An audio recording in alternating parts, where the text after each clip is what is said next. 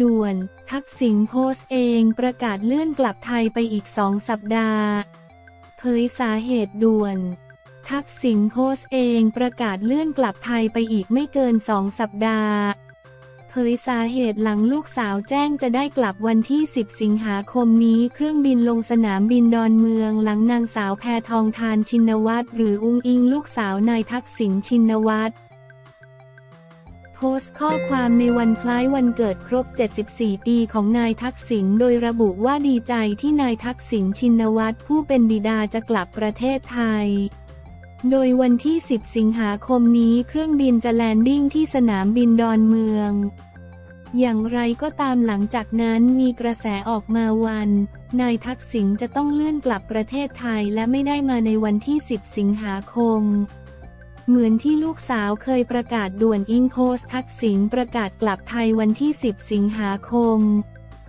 ลงสนามบินดอนเมืองล่าสุดนายทักษิณชินวัตรทวีตข้อความผ่านทางทวิตเตอร์ทักษิณชินวัตราประกาศเลื่อนวันกลับไทยความว่า ผมขอเลื่อนวันเดินทางกลับไทยจากวันที่ 10 สิงหาคมไปอีกไม่เกินสองสัปดาห์ วันเวลาจะแจ้งอีกครั้งหมอเรียกให้ไปตรวจร่างกายก่อนครับ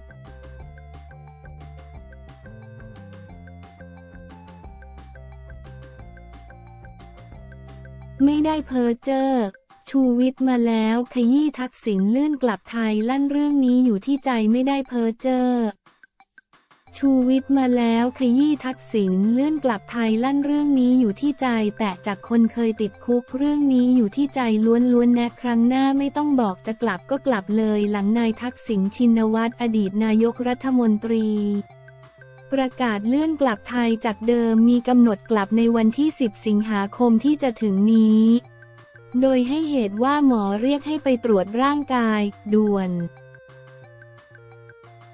ทักษิณโพสเองประกาศเลื่อนกลับไทยไปอีกไม่เกินสองสัปดาห์เผยสาเหตุปุ้งอิงตอบแรงหลัง ชูวิทย์โพสเกมพลิก ทักษิณ ปลี่ยนใจยกเลิกกลับไทยล่าสุดนายชูวิทย์กมลวิสิทธิ์ที่เคยออกมาแฉว่านายทักษิณจะเลื่อนกลับไทยจนถูกนางสาวแพทองทานชินวัตรหรืออุ้งอิงคอมเมนต์ตำหนิว่าเพ้อเจ้อมาแล้ว โดยชูวิทย์โพสต์ข้อความผ่านเพจชูวิทย์กมลวิสิทธิ์ระบุว่าเลื่อนอีกแล้วหมอจะตรวจร่างกายถึงขนาดเลื่อนกลับเลยหรือ หาข้ออ้างที่ทำให้คนไทยเชื่อมากกว่านี้ดีกว่าไหม ชูวิทย์กมลวิสิทธิ์เดี๋ยวมีใครไปบอกว่า เพ้อเจ้อทุกอย่างเลื่อนทั้งศาลรัฐธรรมนูญเพื่อไทยประกาศข้ามขั้วโหวตนายกรัฐมนตรีการเลื่อนกลับไทยของทักษิณจึงเชื่อมกันหมด อย่าไปให้คนไทยรอเก้อทักษิณอุ้งอิง คงมีจตุพรกับชูวิทย์สองคนเท่านั้นที่รู้ว่าท่านไม่กลับ คนที่เคยติดคุกจะรู้ว่าการก้าวเท้าเข้าคุก ล้วนอยู่ที่ใจ การกลับหรือไม่กลับจึงอยู่ที่ใจ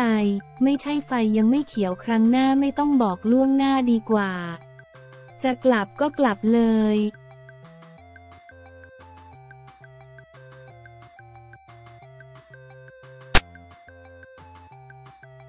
วันนอแจงเลื่อนปิดประชุมรัฐสภาไม่ได้ทำเพื่อฝ่ายใดฝ่ายหนึ่งวันนอ แจงเลื่อนปิดประชุมรัฐสภาถามหากมติสภาไม่ตรงกับคำวินิจฉัยสารรัฐธรรมนูญ ความเสียหายจะตกที่ใครหวั่นกระทบภาพลักษณ์สภาลั่นไม่ได้ทำเพื่อฝ่ายใดฝ่ายหนึ่งเมื่อเวลา 12 นาฬิกาวันที่ 5 สิงหาคม 2566 ที่ท่าอากาศยานนานาชาติสุวรรณภูมินายวันมูฮัมหมัด นอมทา ประธานรัฐสภาให้สัมภาษณ์ถึงกรณีเมื่อวานนี้ วันที่ 4 สิงหาคม สั่งเลื่อนการประชุมร่วมรัฐสภาออกไปก่อน พร้อมกับปิดการประชุมทันทีนั้นว่า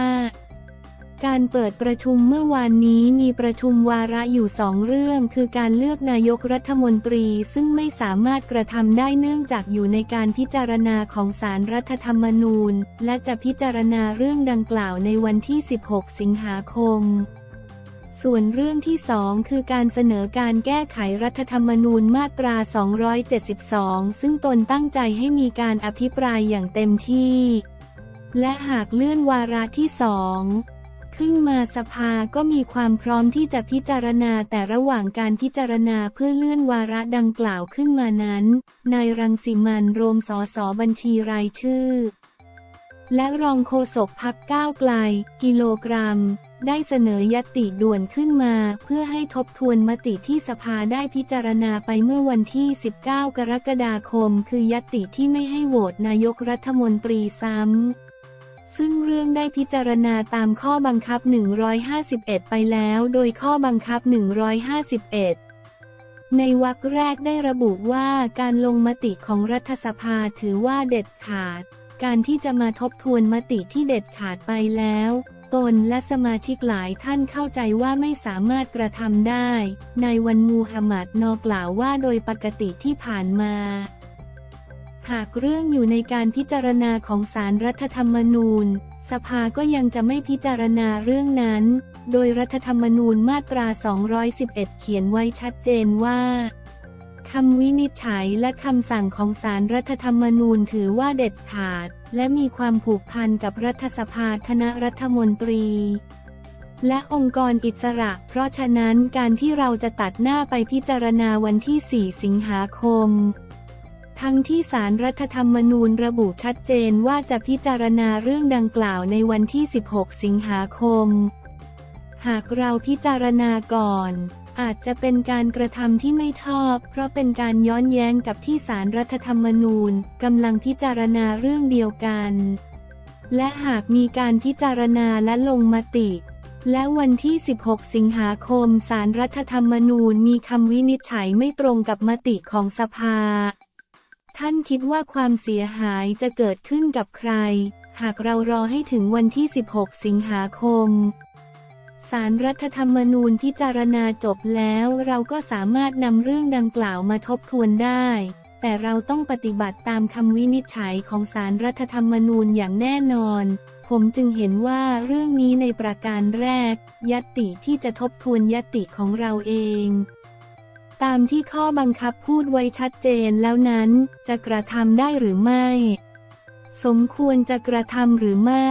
ประการที่สองเรื่องที่เราจะพูดคือเรื่องมติโหวตนายกรัฐมนตรีกระทำซ้ำได้หรือไม่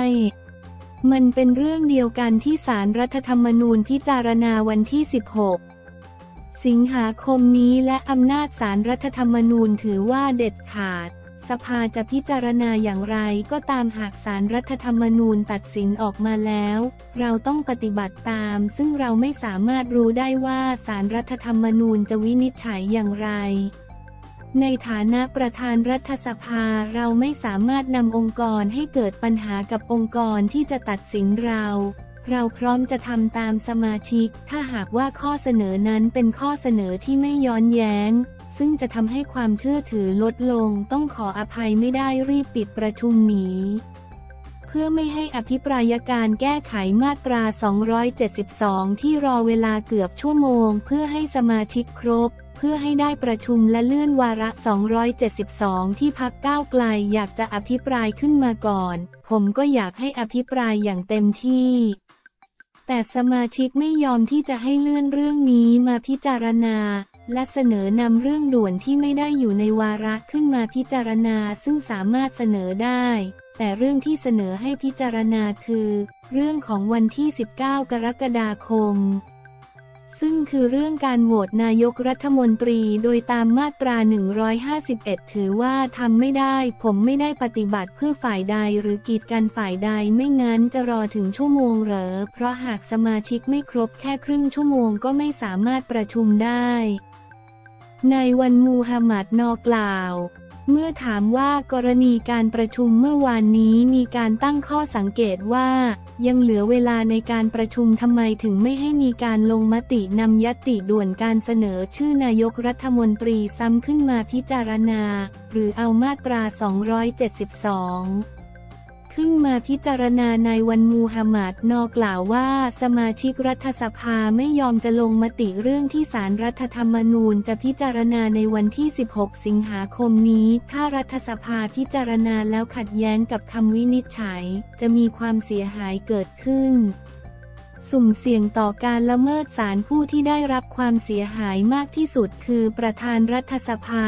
ซึ่งมองว่าจะกระทบต่อบุคคลที่เสนอ และวิธีการด้วย ซึ่งจะทำให้สภาเกิดความสับสนต่อบุคคลภายนอก ในวันที่ 16สิงหาคม ถ้าสารรัฐธรรมนูญมีคำวินิจฉัยทุกอย่างก็สามารถเดินหน้าได้ และรัฐธรรมนูญถือเป็นกฎหมายสูงสุดของประเทศ เราจะบอกว่าศาลเป็นใหญ่กว่าสภา มองว่าไม่มีใครใหญ่กว่าใคร แต่รัฐธรรมนูญกำหนดไว้แบบนั้น ทั้งนี้นายวันมูฮัมหมัดนอกล่าวอีกว่าตนทำงานในสภามากกว่า 40 ปี ไม่เคยมีการนำยติที่ตกไปแล้วขึ้นมาทบทวน ยืนยันไม่ได้ปิดประชุมหนี เพราะการเลื่อนประชุมสภาเมื่อวานนี้ถือเป็นทางออกที่ดีที่สุดของบ้านเมือง ในที่สุดแล้วก็ต้องรอคำวินิจฉัยของศาลรรัฐธรรมนูญ เพราะรัฐธรรมนูญคือกฎหมายสูงสุดของประเทศนี้ เมื่อถามว่าในวันที่ 17 และวันที่ 18 สิงหาคมจะมีการประชุมรัฐสภาหรือไม่ นายวันมูฮัมหมัดนอกล่าวว่าต้องดูคำวินิจฉัยของศาลรรัฐธรรมนูญในวันที่ 16 สิงหาคม ถ้าศาลมีคำวินิจฉัยออกมาจะเรียกประชุมรัฐสภาภายใน 3 วันคือวันที่ 18ถึง19 สิงหาคม เพื่อป้องกันไม่ให้เกิดความเสียหายและความสง่างามของที่ประชุมรัฐสภา หากมีการทบทวนหลายรอบจะทำให้เกิดการร้องเรียนขึ้นมาอีก และเกิดความไม่สง่างามของรัฐสภา พร้อมย้ำว่า ไม่มีคนอยู่เบื้องหลังเสนอให้เลื่อนการประชุม